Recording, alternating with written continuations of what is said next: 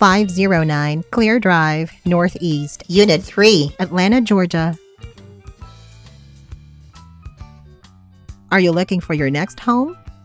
Look no further as this property will surely amaze you.